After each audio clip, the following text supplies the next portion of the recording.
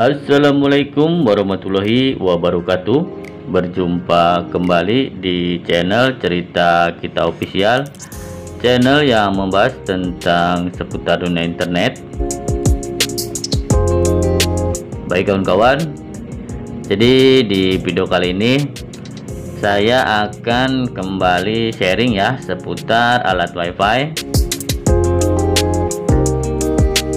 Nah, alat WiFi yang akan saya bahas pada kesempatan kali ini adalah router tenda ya dengan modelnya N301 yang seperti ini.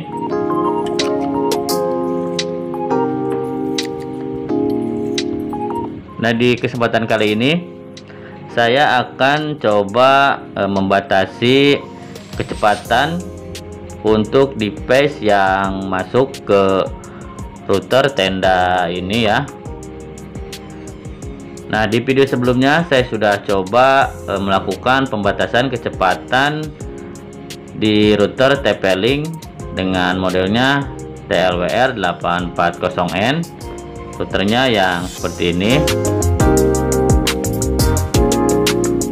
Nah bagi kawan-kawan yang belum sempat melihat videonya Nah silahkan kalian bisa melihat lewat link yang ada di deskripsi ya. Nanti untuk linknya saya sertakan di sana. Nah jadi eh, di kesempatan kali ini saya akan setting router tenda ini untuk membatasi kecepatan internet untuk device yang terhubung ke router tenda N301 ini Nah sebelumnya saya sudah setting alat ini menjadi mode router ya. Karena untuk pembatasan kecepatan itu hanya bisa dilakukan di mode router. Nah bagi kawan-kawan yang ingin mengetahui bagaimana cara settingnya silahkan kalian simak video ini sampai selesai. Nah baik kawan-kawan jadi untuk cara settingnya seperti ini ya. Jadi yang pertama saya akan sambungkan handphone saya ke nama wifi tenda N301 ini.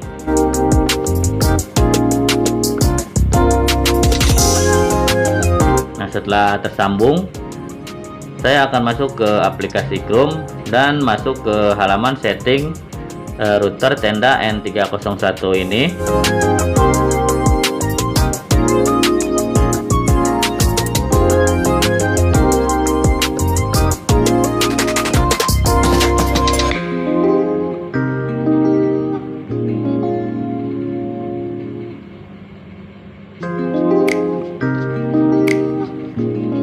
Nah baik.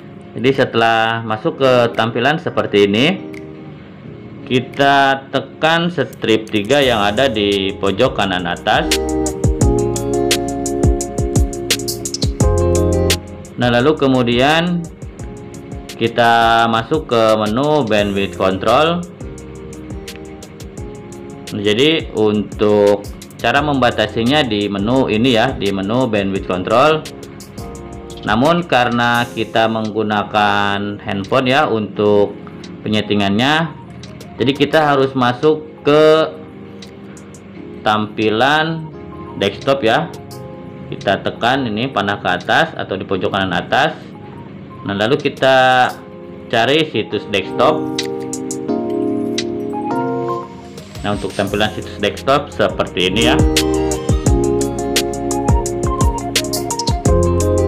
Kita masuk kembali ke menu bandwidth control. Nah jadi seperti ini untuk tampilannya. Nah di sini handphone saya sudah terhubung ya dengan device name-nya Oppo A3s nah untuk cara e, melimitasi atau membatasinya kita tekan no limit ya. Itu ada download limit di sini. Nah di sini kita bisa memilih untuk kecepatan downloadnya. Atau kita bisa memasukkan secara manual ya.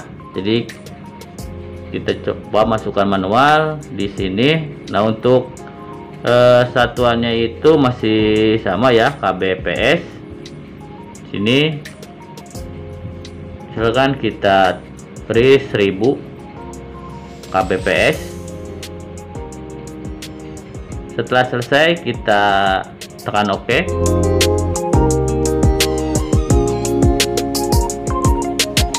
Nah, bila kalian ingin e, mengatur untuk uploadnya juga, kalian harus e, untuk cara penyetingannya menggunakan e, PC ya atau laptop. Jadi kalau untuk di laptop itu ada menu untuk melimitasi uploadnya. Jadi untuk lebih jelasnya di video yang ini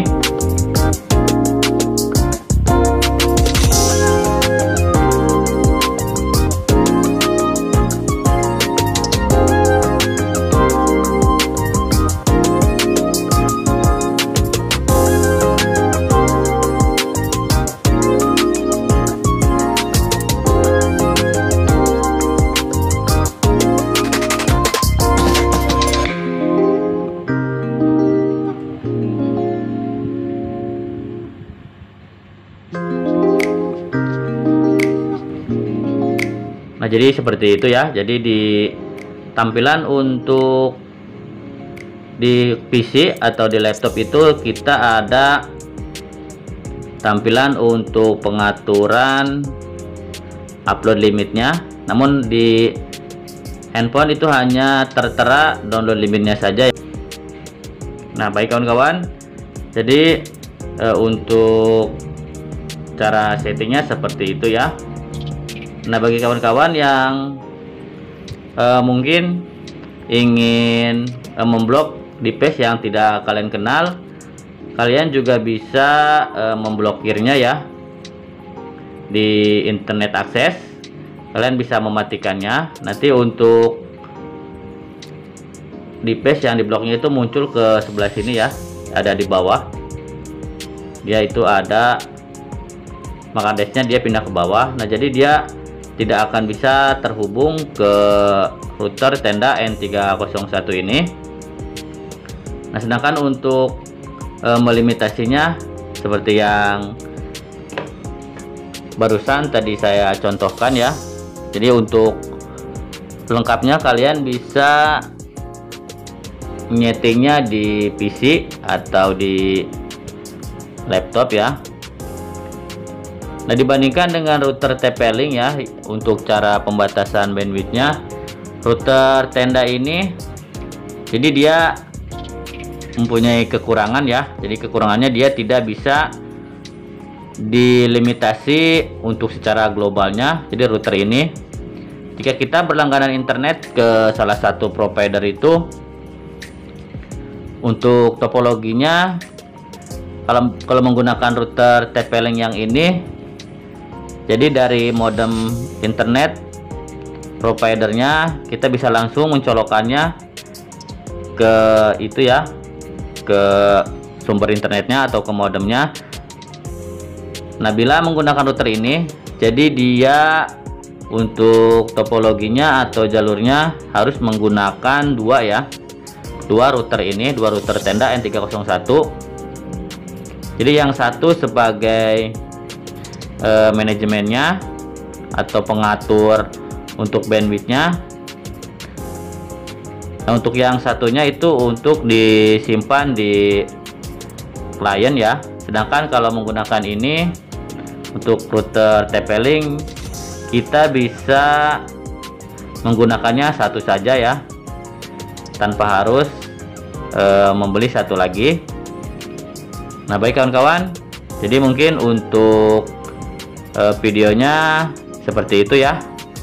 Bagaimana caranya menyeting router tenda N301 ini untuk pembatasan kecepatan internet. Nah mudah-mudahan bisa uh, memberikan wawasan baru buat kawan-kawan semuanya dan semoga bermanfaat ya. Sampai berjumpa kembali di video saya yang selanjutnya. Akhir kata, wassalamualaikum warahmatullahi wabarakatuh.